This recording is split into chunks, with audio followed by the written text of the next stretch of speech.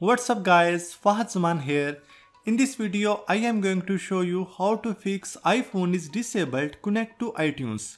If you forget the passcode of your iPhone or your device is disabled. If you enter the wrong passcode too many times, you will be locked out of your iPhone.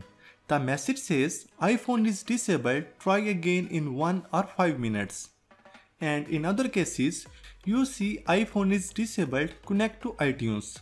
So follow this video if you have forgotten the passcode of your iPhone.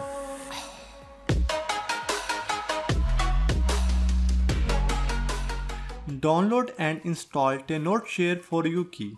No matter it is a 4 digit passcode, 6 digit passcode, Touch ID or Face ID. Tenorshare 4uKey is capable of removing it in a few minutes. The download link of this software is available in the video description. Launch the program and select feature unlock lock screen passcode to get started. Connect your iOS device to the computer using a data cable. After connecting your iPhone to your computer, you will be taken to the menu where you can start the process of unlocking it without a passcode. Then click start on the program. However, before you click start, make sure you know your Apple ID and Apple ID password. Now you will be asked to download the latest firmware package. It will automatically select the most recent iOS firmware file that can be installed on your iOS device. Choose a safe path and click download to proceed. iOS firmware packages are large files, so the download may take several minutes.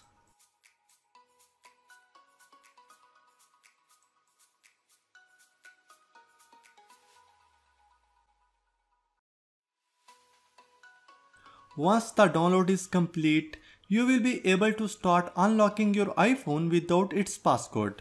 To begin, click Start Unlock. After you click Start Unlock, it will begin removing your iPhone's passcode.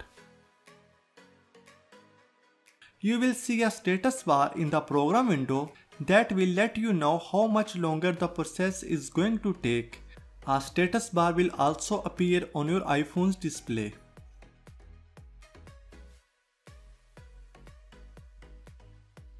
The whole process takes several minutes. Please keep the device connected in the process of password removing.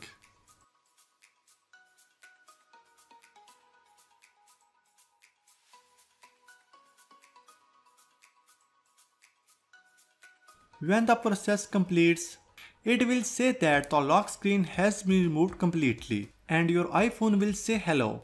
If this screen looks familiar to you, that's because it's the initial setup screen that you saw when you took your iPhone out of the box for the very first time. Follow the on-screen instructions and select your language, country and Wi-Fi network. Please note this unlocking process will also wipe the data on your iPhone there is no solution to bypass iPhone lock screen without data loss for the moment. Once your iPhone is activated, you can select a new passcode and you can restore from an iCloud backup, iTunes backup or set up your iPhone as new. If you have a backup available, we recommend restoring from it so you don't lose all of your data. So by following this easy method, you can unlock your iPhone. So that's all for now. Give this video a like, comment down below if you have any question, subscribe to our channel for more amazing tech videos. Thank you so much for watching and I will see you in the next one.